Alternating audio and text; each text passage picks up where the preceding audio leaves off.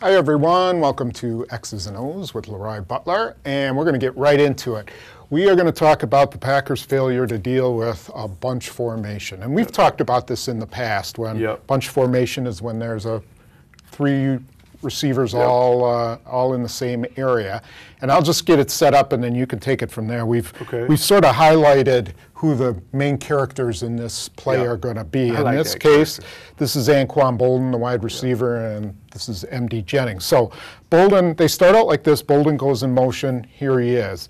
Then we've got, uh, you know, we've got this Williams. guy running right in there.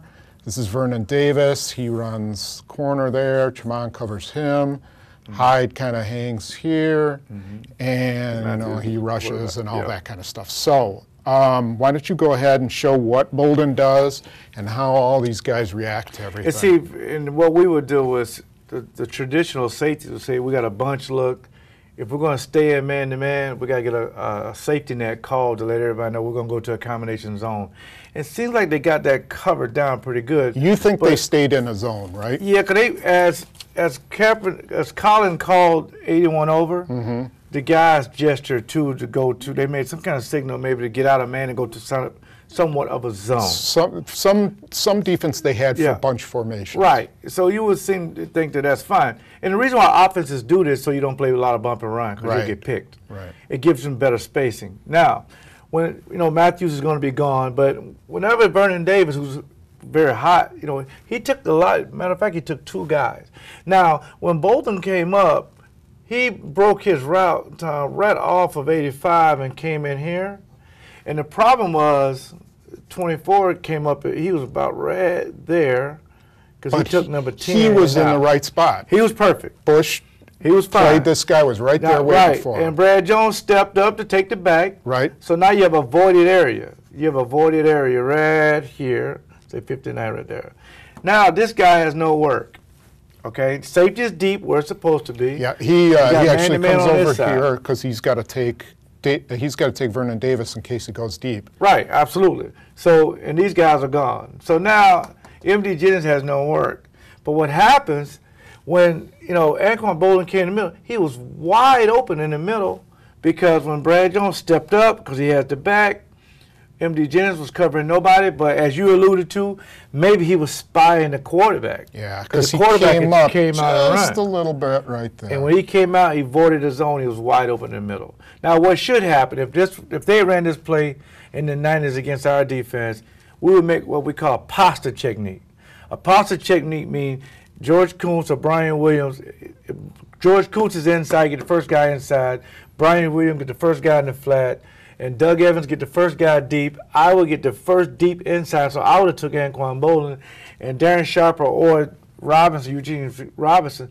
He has no work over here. He would have been driving that too and been aggressive on the interception. right. You got to have a safety net call to be aggressive. Otherwise, you just get real passive. And it's possible that they did have that, and Jennings just didn't get over. It he, could. It looked like he just kind of got stuck in no man's And land. no motion to. They made the signal to go to something. No, he didn't do that. Mm-hmm. Maybe he back. didn't get it. He probably yeah. didn't get it. But you know, so if if it goes right, then he comes over and he's waiting on Boldin It's a pick. here. It's a pick. Now that whole spy thing probably doesn't really make sense because the way they rushed was a very contained Mm-hmm. Yes. rush. You Yeah, know, because Datone Jones, you got Jones and you got Mike Neal, They- the two, you know, athletic guys that don't get out of their lanes. Yeah, And they, kept their lanes. Yep. Jones kind of just hung here, Yep, you know, for the screen. So there really wasn't an escape lane. He didn't really need to Right. Mm-hmm. be shadowing Kaepernick there. And boy, was he wide open. He was wide. There was nobody around him. And if MD Jennings would have been aggressive, he could have intercepted that. Let's talk one last thing before we finish this play. Hyde, you know, it also looked like Hyde could have come over and taken him, but you think that would have violated the, the rules to the zone? Yeah, because he got this flat area. Because if this guy 10 comes in and goes back out, he'd have to take it. Okay. So Yeah. more than likely he was okay standing here because it looked like, oh boy, he should have followed him. Yeah, and if he followed, which is fine. Now you know MD Jennings, he can be more aggressive to the quarterback, mm-hmm. but it's just hard to say who had what once you get down the line. But again, You got to make the hand gestures. You go in the zone. You see the Dallas Cowboys touch the helmet. Yeah. These hand signals, they got to go all the way across. It can't just be two guys. Right. Otherwise, you void the zone. Okay, great. And then we're going to look at another uh, misplay in that game in the secondary.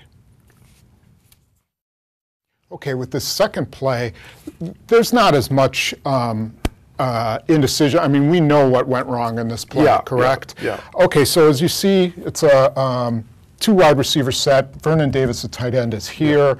This tight end goes in motion, Mm-hmm. stops right there. And then at the snap of the ball, he runs here. And go ahead and show us Yes. exactly what they, how they react. And it's a it's a five man pressure because high comes on a blitz. Right. So he's going to be gone. Now here's the thing that's kind of puzzling me because Vernon Davis, who attracts a lot of attention, he just kind of goes down here to kind of clear it out, and it, it seemed like everybody was rotating, and then MD Jennings came down, which is fine. He goes to the middle there. There's someone there like a one high um, safety, and 37 can you draw a 37 right right in here?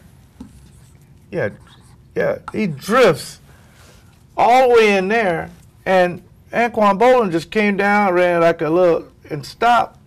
It's wide open, and the quarterback drifts here and made it and threw it to him. Uh, it's almost as if Shields was thinking he had to cover 85 and the post. He's supposed to 37. He should be here. You can't never line up inside of that. This guy's uncovered. He could have just stood up and threw it to him and ran out. Now this this is what we call a mental mistake. Not so much as a breakdown. It's a mental mistake. Alignment, assignment, and execute. Mm-hmm. So you got to know your assignment and the alignment. You got to know to line up first.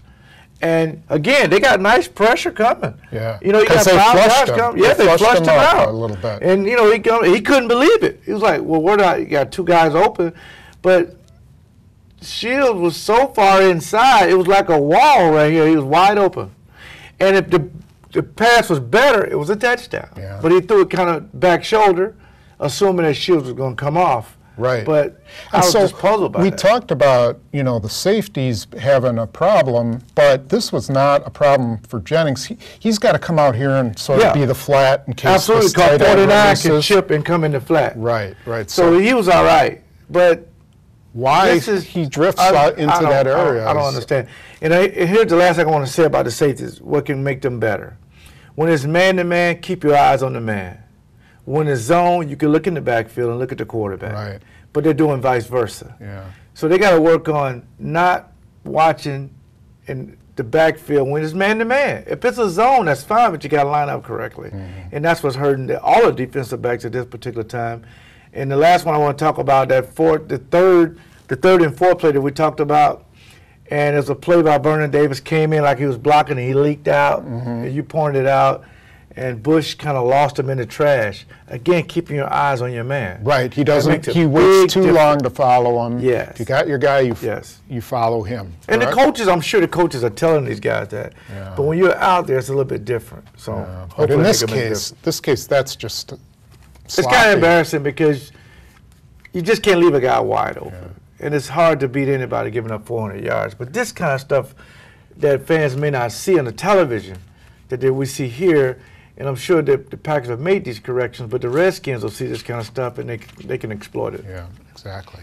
Okay, well, thanks for joining us. Hope uh, you enjoyed the uh, breakdown of the plays. Yeah, and again, thank you for Cynics Ballester, owner and operator, and Classic Lanes for supporting, and again, the, the uh, Salvation Army. As a matter of fact, I'll be in Madison September 17th. All right, and we'll see you next week.